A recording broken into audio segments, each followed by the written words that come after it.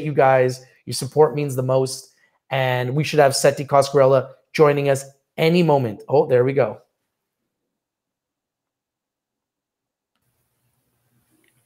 Hello, Setti. Hey, Rich. How are you? Good, buddy. How are you? I'm doing fantastic. Welcome on the show. Oh, thank you. I appreciate it. Trying to keep up with you, my friend. so How's it going? I'm I'm going great. You know, uh, I've been talking all day about the fact that TAAT is so unique because typically when companies in Canada, specifically in Canada, raise money, it's a dilutive event and the stocks go down. But here you are, you guys just raised another $10 million mm-hmm. with Horizon Ventures and mm-hmm. Debbie Chang's group. They've now invested 26,700,000 into TAAT. Mm-hmm. And the stock's going up today. Not much, but it's up. It's not down. Mm-hmm. That's what makes TAAT so unique is you guys are playing 3D chess. You're not playing checkers. You're not desperately looking for someone to give you money. You guys are being strategic with every single move you make. Would you agree that this is a strategic partnership? And you can clearly see that with the market responding positively, this is what makes TAAT so unique. Would you agree with that statement? Yeah, I try to not run around the street yelling "King me." Yes, 3D chess, baby, 3D chess. So, what do you think about this news? Like, you guys clearly have a, a major partner here with Debbie Chang. Mm-hmm. And um, what does this mean for TAAT to be able to have a partner like this you guys can keep going to whenever you need money? Look, I think it's an encouraging sign. Um, they tend to invest early in companies that they think have the have a strong likelihood of being able to disrupt a particular industry. So whether it be companies like Facebook or Zoom or Dollar Shave Club or Siri before it got bought out by Apple, um, they've got a pretty good eye for this thing. And I think that when we presented this opportunity to them last year, obviously they liked it. I mean, they went through the whole due diligence process and, and, and they liked it. And they've been tremendous partners. And, you know, at this stage, they they were wanting to put in some more money. I was saying, okay, I think we can make that happen. Um, and here we are. So, you know, I think the beauty of a partner like this is they tend to be long-term holders. They they see these things as you know longer time horizon. When and I think that's why they're probably called horizons because they have a longer time horizon. Um, they tend to be pretty sticky investors because they're not going to put their time and effort I mean, when you have access to deals like Facebook and Zoom and, and, and companies like this, you get pitched thousands of times a day. So they're not really going to invest their time and effort into things that they don't think have a viable shot. And again, I'm putting words in their mouth, but if I'm on their side, that's what I'm thinking. So when you see an opportunity like this that has such an enormous opportunity or uh, an enormous trajectory in front of it, and based on the results to date from when they put in the capital and how we use the money and the value that we were able to create for our shareholders and the business that we were able to build they're probably thinking okay this is you know this is a no-brainer. I want to i want to be able to participate in this thing and really help them take it to the next level. And i think that's where we are now you know um, for a cpg company and I, and I think i said this before to be at the level we're at now as quickly as we are it's not normal right? I think it's really a function of the capital that we've been able to raise and how smartly we've been able to deploy it. So, you know, with some additional capital that comes in, I think we'll be able to again use it smartly and and use it to try to create value for our shareholders and the business as a whole. You know, we're adding more stores daily. We're in about 20 states now.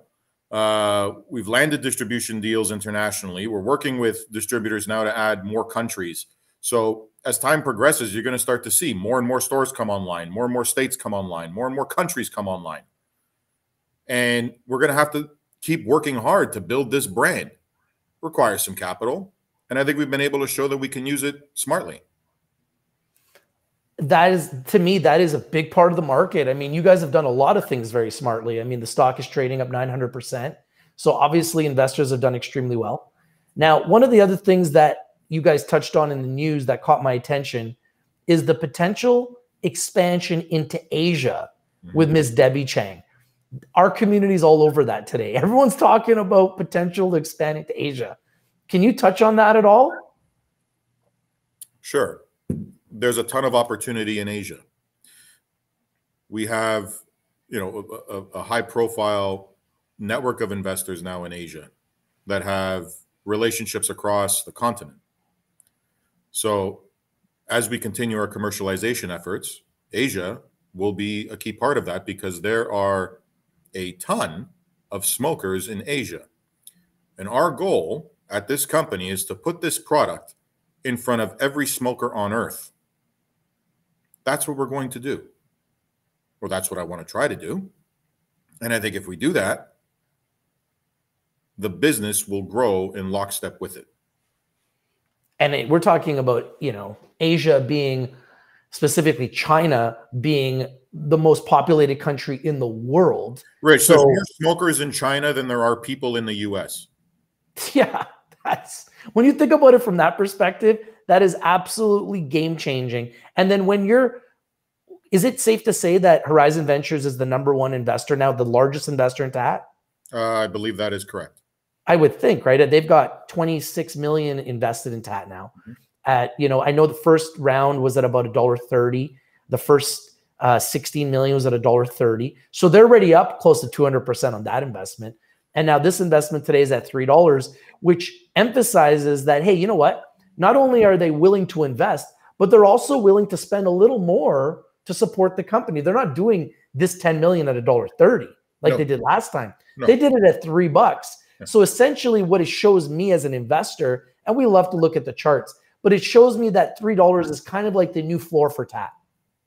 And if investors come in at that price, that's where I think investors that are trading this, if if the stock dips to that price or lower, that's kind of the new floor that's been created for TAAT.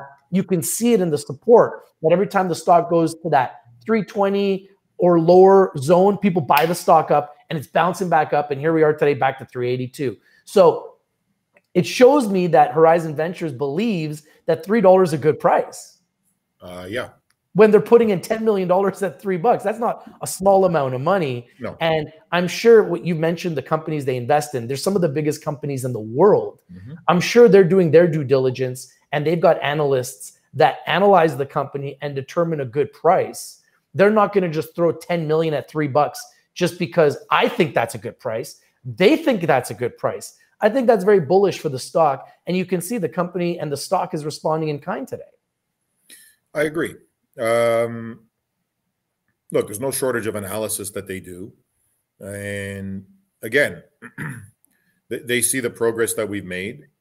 And I think it's as encouraging for them as it is for me. Let's talk about the 7 Eleven. Mm-hmm. 7 Elevens are big. Uh, we saw that TAAT is at least in one 7 Eleven.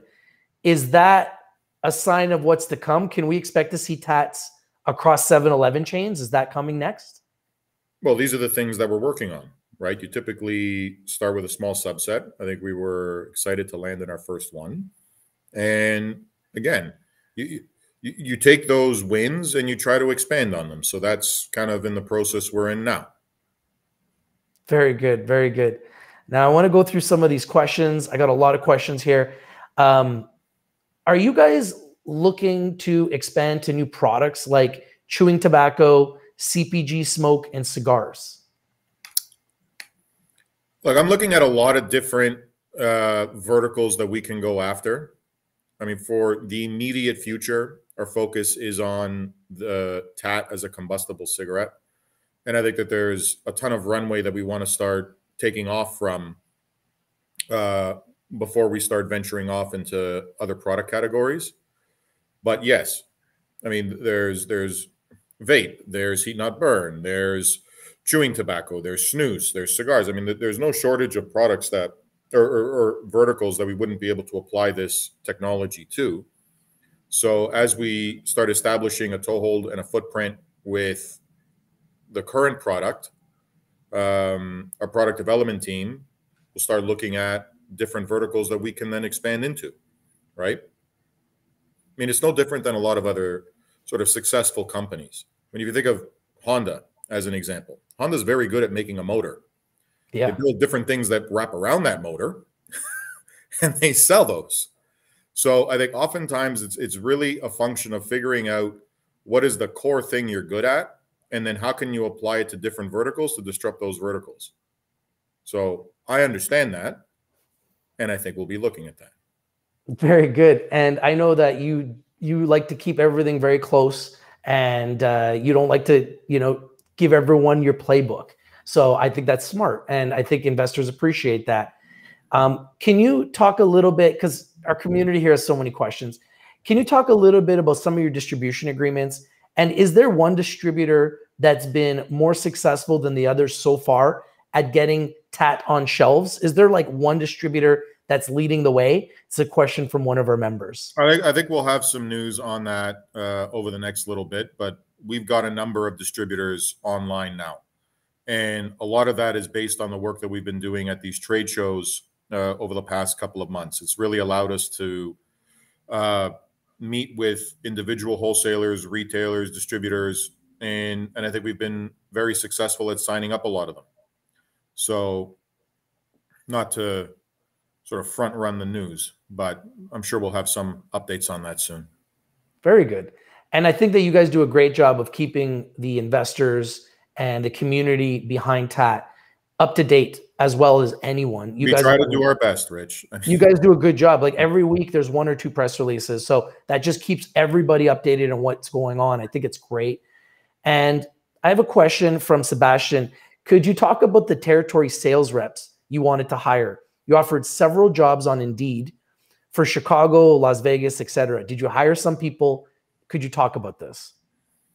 Uh, I think we did, but I'll have to follow up on on some of that. I mean, I'm involved in a lot of the aspects of the business, but sometimes when it gets to like certain deep in the weeds, uh, I can't sort of spend all day kind of managing the the the, the fine minutia. We got to sort of spend a lot of our time working on some of the bigger picture items like this For sure. Well, that's that's growing to become a global company, so there's different people doing different things. Exactly. I totally understand that. Um, thank you for answering that. Um, any updates on how the NACS went? Listen, I think NACS went really, really well. Uh, again, I'm sure that we'll have some updates on that uh, over the next couple of weeks, but there's a number of very interesting discussions uh, currently in the works based on the work that we did at NACS. So it's a it's a B2B style show for, for people who don't know what it is. It's the largest convenience store show in America. And you'll have exhibitors there from all the major distribution chain or all the major distributors, uh, a lot of the national chains, all sorted products that you would otherwise sell within the convenience channel. Um, so it, it really is a, a show of the sort of who's who in the industry. And I think that we put a very good foot forward. And I think a lot of people were impressed with the product that we had. Again, oftentimes people can hear the story, people can read the news, people can watch a video. But when you're able to sit and interact with them on a one-to-one basis and you can physically show them the product and say, "Look, this is real. Like I'm, we're not making this up." And then they'll try it and be like, "Holy crap, you're you're right. Like this is not what I thought it was." Um that's where I think the power of these shows is. Right? It's it's just different. And I think going forward, uh, now that things are starting to open up, it's going to form a core part of our strategy on the sales side because it allow it basically brings all of your customers into one place. And now you can have a much more productive discussion because they're all there with open ears to learn. Right? Very good. Yeah. I have a question from the investment ABC. Is TAAT getting the revenue straight from the distributor and the distributor has the risk if the product isn't sold in retail stores? Or is TAAT only getting paid if consumers are buying the product? Mm-mm. It's a good question.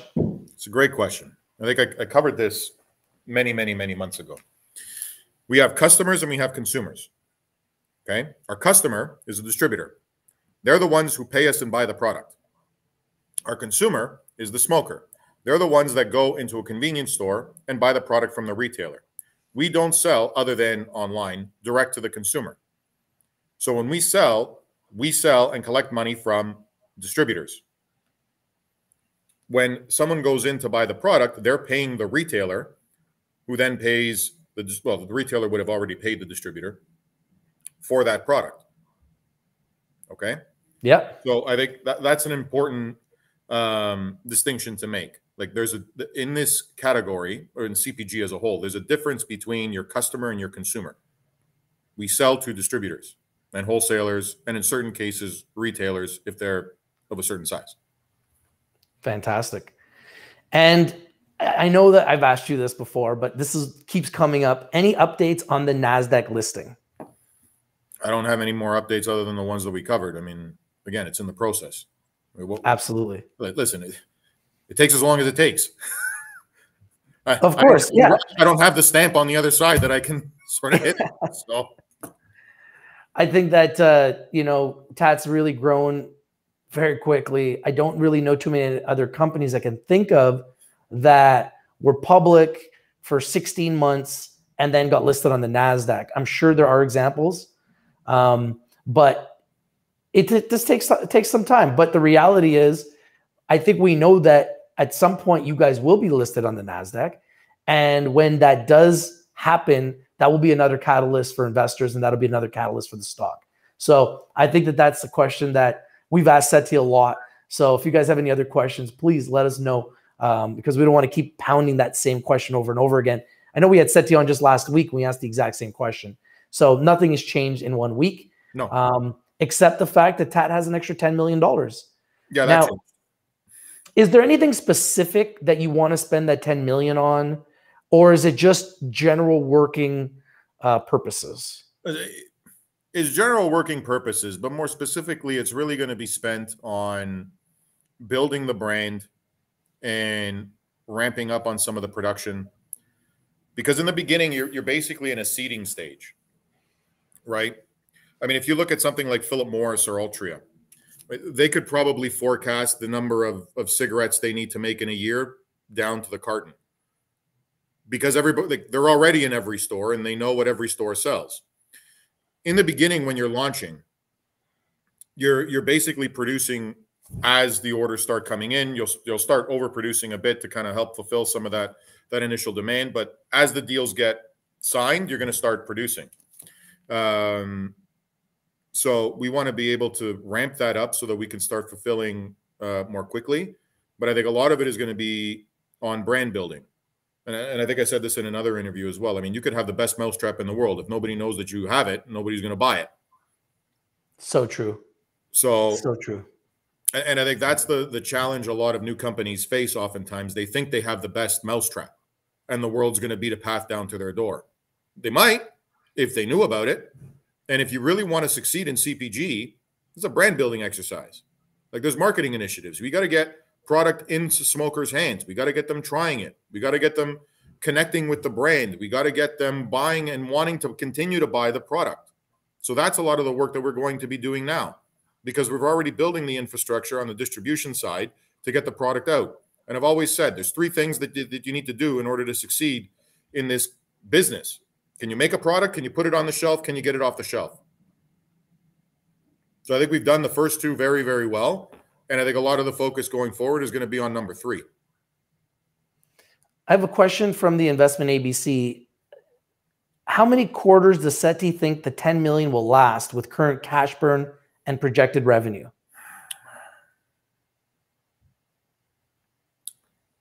Listen, I don't want to dance around the question, but I mean, it depends.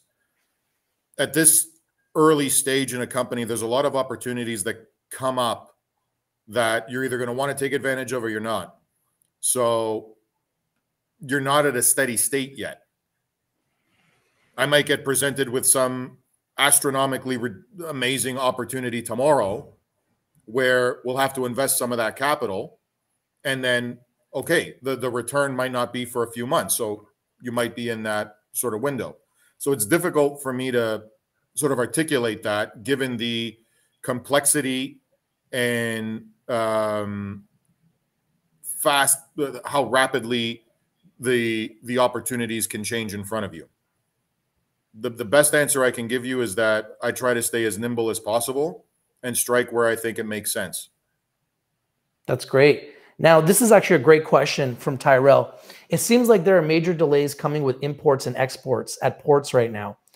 Will there um, will that have any major impacts on TAAT's business? I know it's affecting it's affecting Apple with chip shortages. It's uh, it's affecting some of the biggest companies in the world. I know that Biden announced yesterday that they're going to be doing emergency 24 hour around the clock distribution with Walmart and other chains so that people can get their Christmas gifts. Like this has to have some type of impact on TAAT.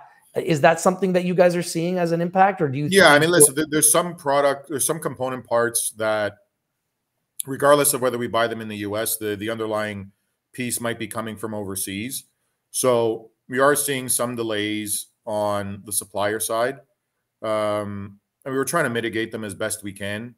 Like in certain cases, all right, if I need to get product over instead of sending it by ship, okay, uh, we'll send it by air. It might cost a bit more, but those are one-time costs. So where we can, if it becomes a bit more expensive just for a, a short period of time while this backlog is alleviated, we want to try to do everything that we can so that we don't sort of delay product into the market. But I mean, these are global issues that are far beyond my control. That's right. Um, if we can find creative solutions, we will. Uh, otherwise, I mean, if, if stuff's on a ship and it's stuck in the middle of the Atlantic because there's 70 ships in front of it, I haven't learned how to drive a ship yet, guys. I'm sorry. you could just grab a helicopter, airlift the TAATs up off the ship, yeah. take them to their destination. Um, so great, great questions. And a lot of the members agree that branding is everything. Now, you guys seem to be just the store locators just blowing up over a thousand. Um, how often do you guys update that store locator? Is that like a weekly thing or? Uh, yeah, we try to update it as as frequently as we can.